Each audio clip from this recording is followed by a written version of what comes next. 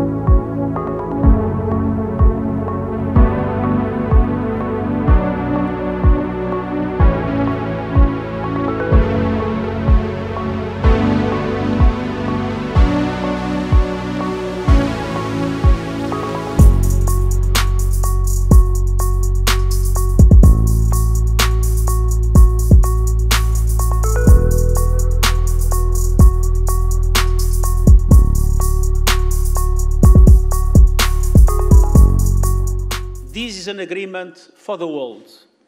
It will bring relief for developing countries on the edge of bankruptcy and the most vulnerable people on the edge of famine. And it will help stabilize global food prices, which were already at record levels even before the war, a true nightmare for developing countries. Specifically, the initiative we just signed opens up paths for significant volumes of commercial food exports from three key U- Ukrainian ports in the Black Sea Odessa, Chebanovsk, and Yuzhny. И сегодня мы, собственно, имеем э, все предпосылки и все решения для того, чтобы э, этот процесс начался в самые ближайшие дни.